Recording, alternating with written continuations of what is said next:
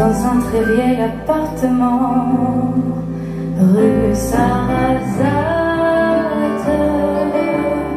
J'ai pour me tenir compagnie une tortue de canaries et une chatte pour laisser maman reposer. Très souvent je fais le marché et la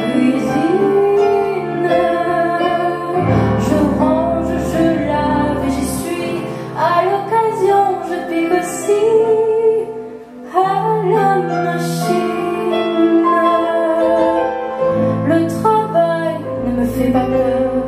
Je suis un peu décorateur, un peu styliste.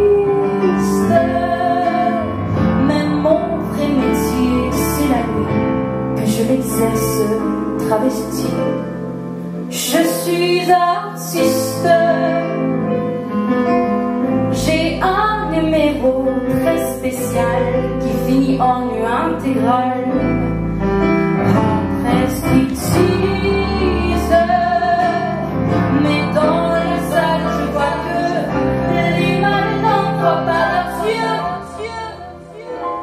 Suis un homme comme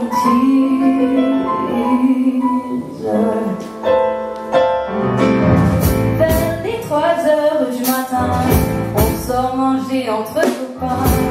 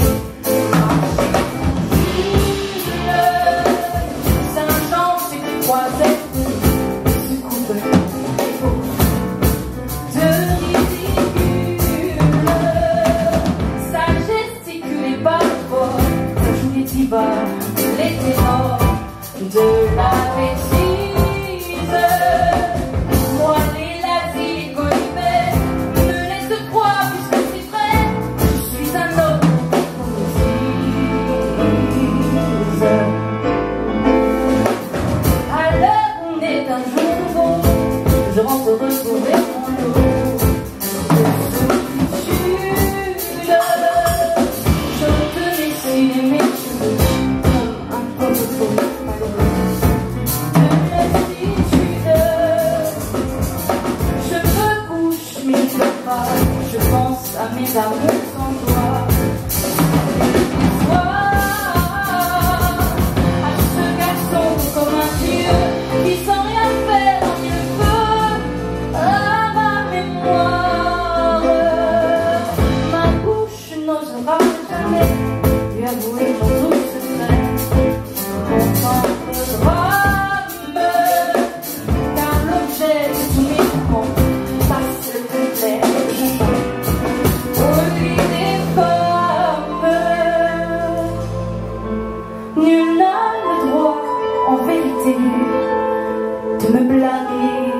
De me juger.